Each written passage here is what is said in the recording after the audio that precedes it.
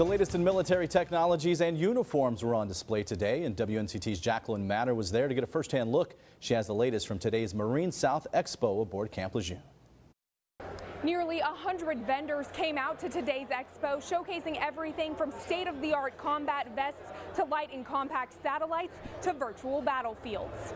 The Marine South Expo wrapped up its final day Thursday, but drew thousands of Marines in to show them the latest technology and equipment for training.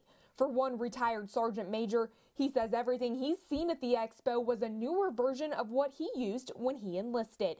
You look at what we have today, um, it is it is night and day. From guns to lifelike casualty dummies to radio essentials, younger Marines say they're looking for what makes their jobs easier. To make it faster, easier to use, lightweight. Vendors are also looking to get feedback at these expos of what Marines are looking for to use in the battlefield. For example, a year from now, that Marine could come back and see that prototype and go, oh my God, there it is. That's that thing. That's what I need. We need on the battlefield to fight and win.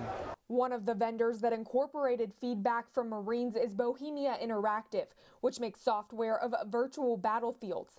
They say since many of our current Marines grew up in the ages of gaming, these lifelike training methods give them a more interactive experience while saving the Corps millions of dollars go in and do all the what ifs and the mission rehearsals without spending fuel, ammunition, or time on the ranges, which is very valuable. The software allows you to choose any location in the world and grabs images from that area, letting you virtually train like you're actually there. The Marine South Expo will be held in April of next year. It will also be held at Quantico and at Camp Pendleton. Aboard Camp Lejeune, Jacqueline Matter, 9 on your side.